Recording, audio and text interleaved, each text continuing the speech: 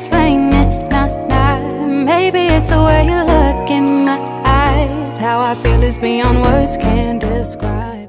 Hey guys, welcome back to my channel. If you're new around here, my name is Ashtyn and I make face videos here on YouTube. And today's video is the third episode in our Soul Study Sunday series. And today we're talking about dealing with doubt. So if you're interested in seeing this, then just keep on watching. All right, so we are back with another Soul Study Sunday. Ah. And the crowd goes wild why? I don't know. But as i said in the intro and as you can tell by the title today we are talking about dealing with doubt. Now i don't know about you but doubt doubt is one of the biggest things that i deal with um, in my christian walk um, because satan is evil right and his number one tactic, his number one tactic is to make us doubt what God said. It's to make us doubt what God said. And so in order to look at that, I want to first take us, this is not gonna be our focus scripture for today, but I wanna start us here in Genesis chapter three, Genesis chapter three. And a lot of us blame Eve, right, for all of the horrible things in the world when we really should be blaming Adam, but we're not here to debate that. But a lot of us blame Eve for eating the fruit. But the problem started long before she took a bite of the fruit. The problem started when she allowed the enemy to plant seeds of doubt, which then caused her to change her mind about what God said. Again, the problem was not when she took a bite of the forbidden fruit. The problem was not when she did the act of sin, but the problem was when she allowed what the enemy said to plant doubt in her mind and change what she believed about God and his word. We're looking at um, Genesis chapter 3 verse 1 and I'm going to be reading it in the New Living Translation. And it says the serpent was the shrewdest um, other versions say cunning um, sneaky. The serpent was the shrewdest of all the wild animals the lord god had made. One day he asked the woman did god really say you must not eat the fruit from any of the trees in the garden seeds of doubt did god really say did god really say you would get pregnant? Did God really say that you would get married? Did God really say that that job was yours?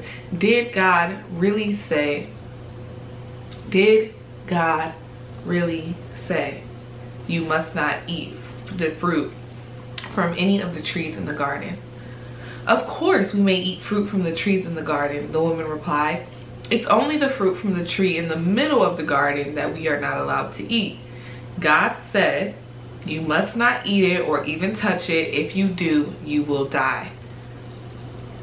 You won't die, the serpent replied to the woman. Doubt. God knows that your eyes will be opened as soon as you eat it and you will be like God, knowing both good and evil. Doubt. Right? Now the serpent is making her not only doubt the word of God, but now he's making her doubt the intentions of God.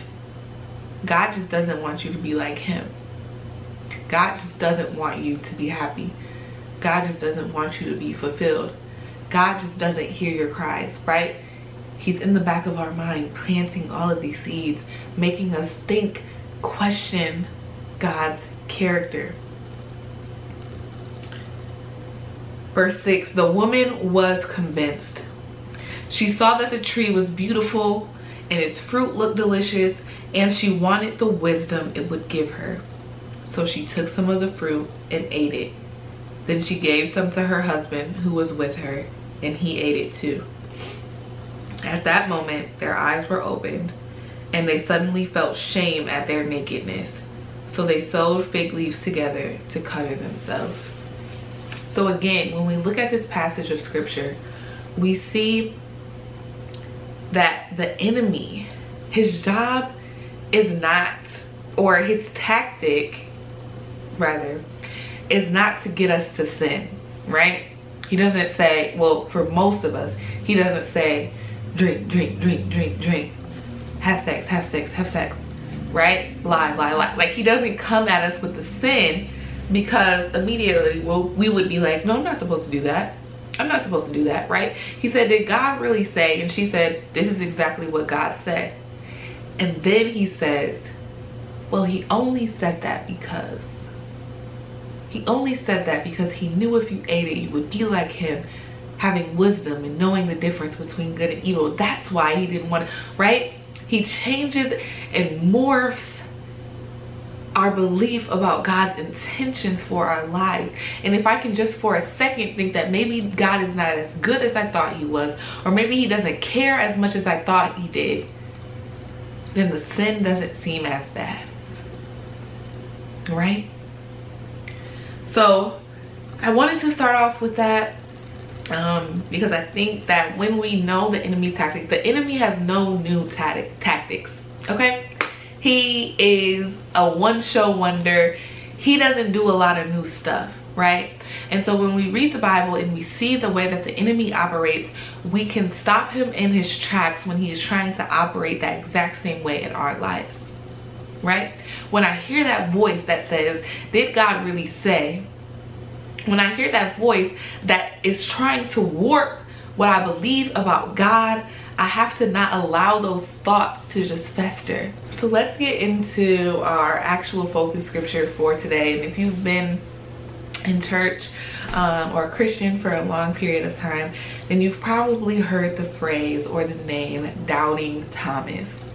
Now, the same way that we like to beat up on our sister Eve, y'all like to beat up on Thomas and I am not here for it because I am going to show us in this video that we are a lot more like Thomas than we think we are.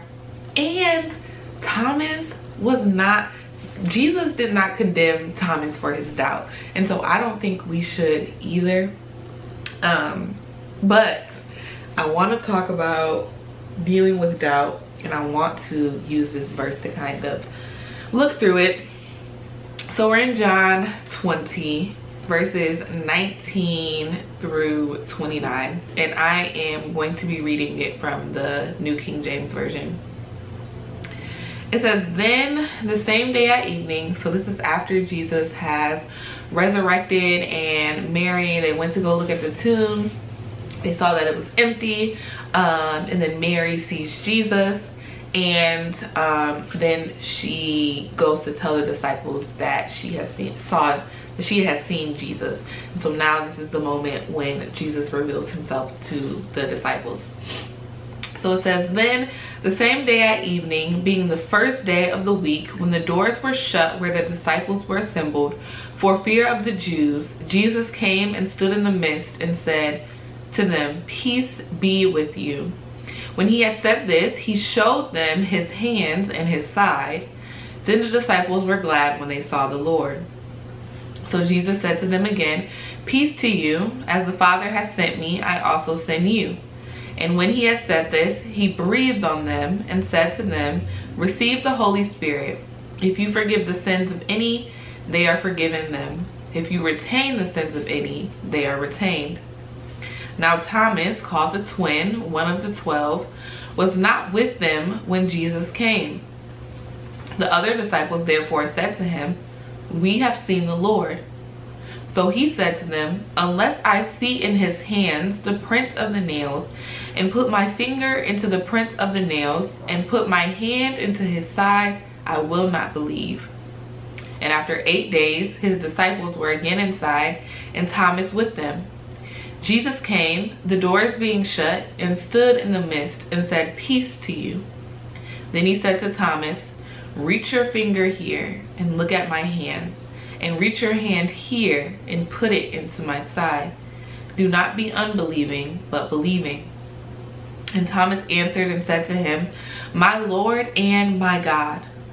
Jesus said to him, Thomas, because you have seen me, you have believed.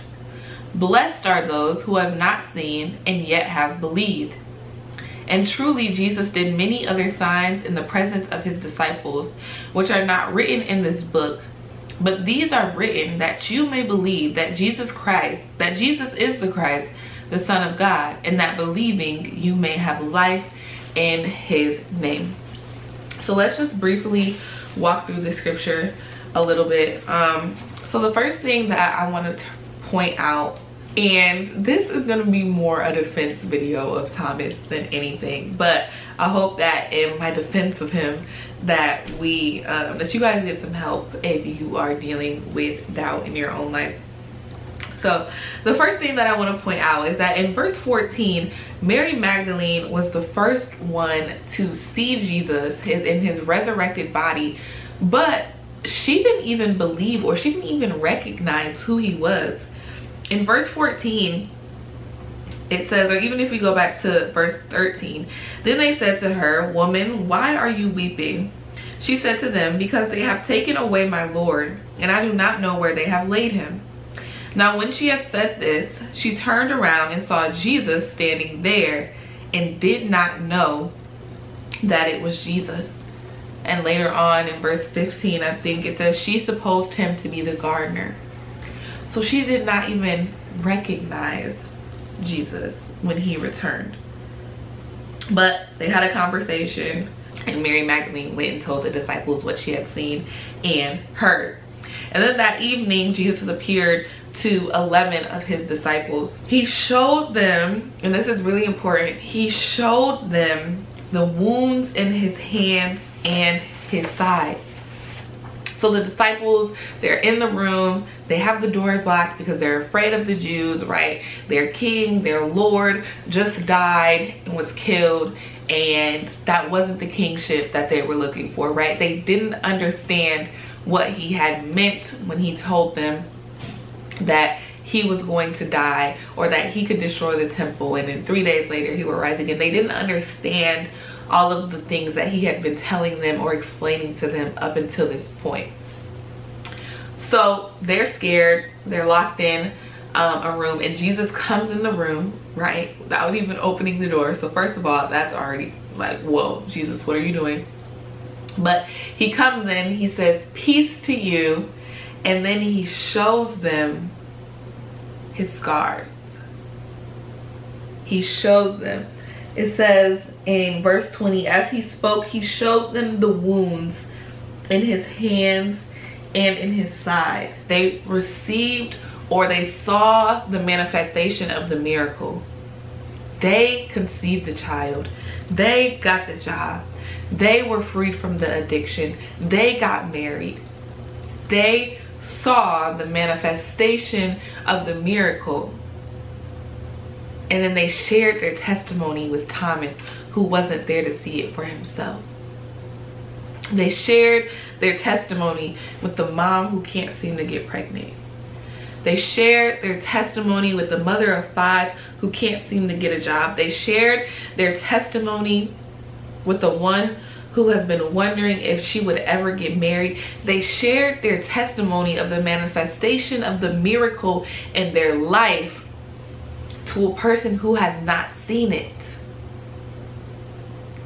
And I don't know about you, but there have been many times in my life where someone has shared something, a testimony with me of something that I have been praying for. And it was cool for them. I was able to say congratulations to them, but it didn't come without a little pain for me. It didn't come without a little doubt for me that God could do it for me too. It didn't come without a question in my mind like, God, why? Because I'm sure Thomas was wondering, right? Jesus knows everything. God, he's God, right? He knew Thomas wasn't there. So you start to ask yourself, well, couldn't he have done it in a way that I could see it? Couldn't he have waited until I was there too? So then you start to question and you start to doubt why God isn't doing it in the way that you need him to do it for you. And so Thomas says, yeah, that's good for y'all, but I'll believe it when I see it. I understand that you know him as a healer, but I'll believe it when I see it. I'll believe it when my body is healed. I believe it when my grandma, my aunt, my cousin is healed. You say that God is a waymaker. Well, I'll believe it when he makes a way for me. Right? We may not have been as honest as Thomas. But that doesn't mean that we haven't still been Thomas. Verse 24 says, One of the 12 disciples, Thomas, nicknamed the twin, was not with the others when Jesus came. They told him, We have seen the Lord. But he replied, I won't believe it unless I see the nail wounds in his hands, put my fingers into them, and place my hand into the wound in his side. I need to experience it for myself. I need to touch him for myself. I know what I saw when he died. I know what I saw when he died. Eight days later, the disciples were together again, and this time Thomas was with them. The doors were locked, but suddenly, as before, Jesus was standing among them. He came in the same way. Peace be with you. He says the same thing. He said, then he said to Thomas, I've heard what you prayed for. I've heard what you asked. I've heard what you said you needed to do in order to believe. He says, put your finger here and look at my hands. Put your hand into the wound in my side. I've given you what you need to believe. I've shown up in your life specifically. I've answered your specific prayer. And then he says, don't be faithless any longer believe. He did not come in convicting Thomas like, why didn't you believe when they told you? What Thomas asked for, he gave him. You need, you need to see the wounds in my hand. Here they go. You need to place your hands on my side. Here I am. Don't be faithless any longer. Believe. No, this is not this is not your opportunity to then say, see, God gave him a sign, right? Because this next part is for us. Don't be faithless any longer, believe, he says to Thomas. Then verse 28, he says, my Lord and my God, Thomas exclaimed, I believe. I believe that you are who you say you are. Then Jesus told him, you believe because you have seen me. Blessed are those who believe without seeing me. Now this part is for us. This wasn't a condemnation of Thomas, but this was a foreshadowing of those who would come, right? Because as you continue on to verse 30, it says, the disciples saw Jesus do many other miraculous signs in addition to the ones recorded in this book. They walked with him. They saw him. They knew him personally, the disciples. So when they saw him, it was easy to believe in him because they had physical proof, because they had physical manifestation of God walking with them. So when he says, blessed are those who believe without seeing me, he's not saying that anybody was better than Thomas because the other disciples didn't believe either until they saw him right? They believed, they went to go tell Thomas because they had seen Jesus. Because remember, before they saw Jesus, Mary Magdalene came and told them that she saw him. And we can't say for sure, but there's nothing written in the scripture that says that they leaped and jumped for joy and went out. They were still locked up, scared of the Jews. Right? So neither did the other disciples believe without seeing. So this wasn't a condemnation of Thomas, but instead was an encouragement and exhortation to those of us who would be reading this very book. Verse 30, it says, The disciples saw Jesus do many other miraculous signs in addition to the ones recorded in this book. But these are written, the miraculous signs, the words in this book. But these are written so that you, you being us, may continue to believe that Jesus is the Messiah, the Son of God, and that by believing in him who we did not get to see, by believing in him, you will have life by the power of his name. And so the reason why I said, hold on, that's not your word right there, right? You do not need a sign from God is because we believe based off of the book that we read. We believe based off of God's word. And the other difference between us and Thomas, between us and the disciples, is that we have the Holy Spirit, right? We have the Holy Spirit. And so when I have the Spirit of God living inside of me, there is not room for doubt. There is not room for me to question because the Holy Spirit's job as my instructor, as my helper, is to reveal things to me. It's to reveal God's plan. It's to reveal God's word. And so when I have the gift of the Holy Spirit, I shouldn't have to see the physical manifestation of something to believe that God can do it. I shouldn't have to see the promise fulfilled before believing that God's going to do it because his word says so and his spirit in me should confirm it. So my encouragement to you, if you're dealing with doubt, is to believe it before you see it. It's to ask yourself, why am I praying for a sign? Why is the word of God not good enough?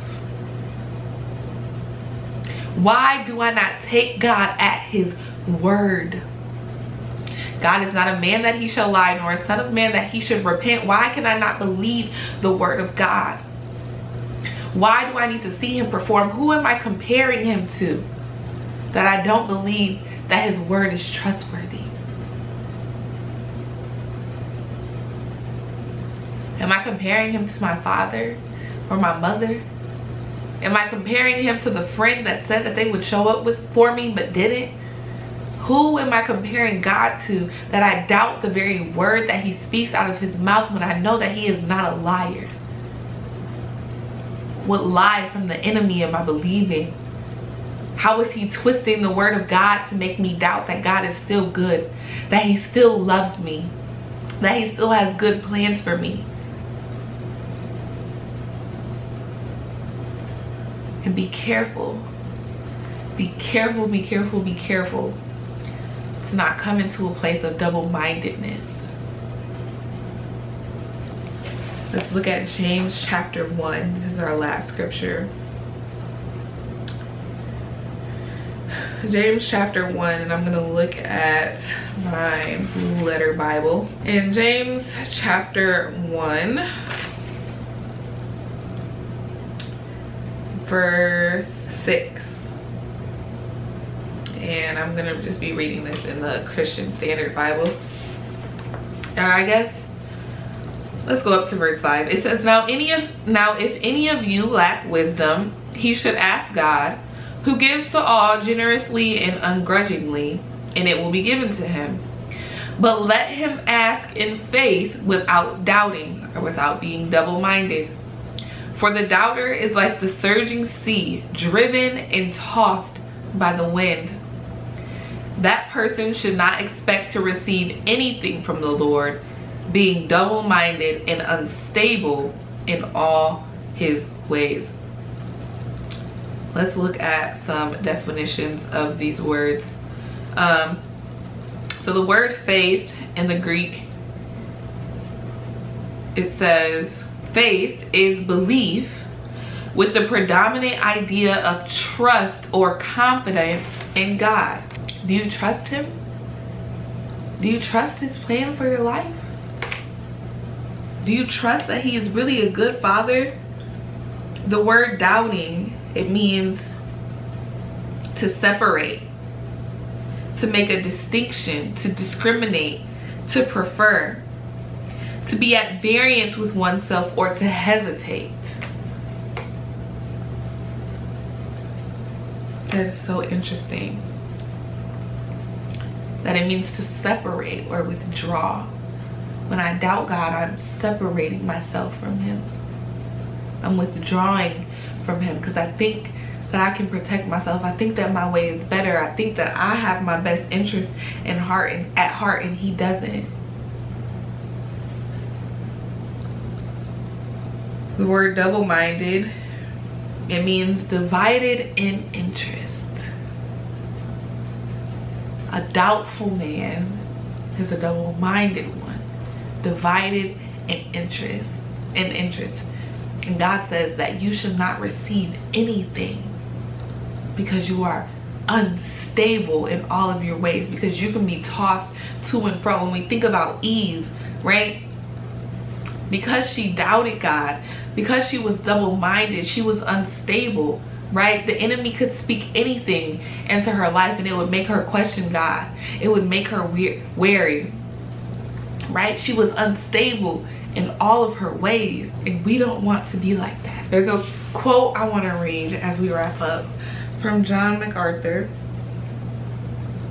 It says, for some reason, we think of doubt and worry as small sins. But when a Christian displays unbelief or an inability to cope with life, he is saying to the world, my God cannot be trusted. And that kind of disrespect makes one guilty of a fundamental error, the heinous sin of dishonoring God. That is no small sin. Let me pray for us. Dear Heavenly Father, thank you for this day that you have made. I thank you that you are a good, good Father. I thank you that you are not a man that you should lie. I thank you that the word that you have spoken over each and every one of our lives cannot come back void, but it must accomplish but it must accomplish what you set out for it to do. Lord, we repent for the times that we doubted whether or not you were good, that we doubted your character, that we doubted your words, and that we didn't take it at face value, Lord, that we didn't truly believe your word when you said it. Help our unbelief, Lord. Help us grow in our faith. Help us trust you, Lord, so that we are not double-minded, so that we are not divided in interest, Lord, Help us to fully and wholeheartedly believe you. In Jesus' name I pray. Amen. Thank you guys so much for watching. We have one more video in this mental health series. Um, and so I hope that these have been helpful. Let me know what else you want to talk about on these Soul Study Sundays. And of course, um, comment down below, how is your soul doing? Let me know um, in the comment section below if you've made it to the end of this video thank you for watching and i have a gift for you. Um, if you have not seen the trailer in the other videos or the promo video i guess then you do not know that uh, my best friend and i we are hosting a conference july 14th and 15th 2023 it's called the encounter conference and i truly believe that every woman needs to be in that room. But space is limited so please make sure to grab your ticket before we sell out. Um, but as a thank you to watching this video you can use the promo code jesus10 to get 10 percent off of your ticket. Once again that's jesus10 to get 10 percent off your ticket. Thank you so much for watching and i will see you guys in my next video. Bye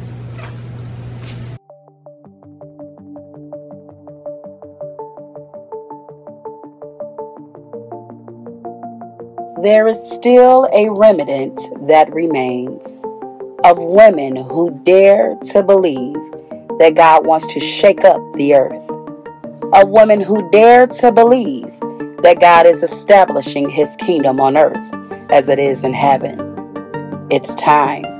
It's time for those who have been sleeping to wake up. It's time for boldness, breakthrough, miracles, healing, deliverance restoration, revival. Playtime is over. Everywhere your foot treads, may the earth tremble.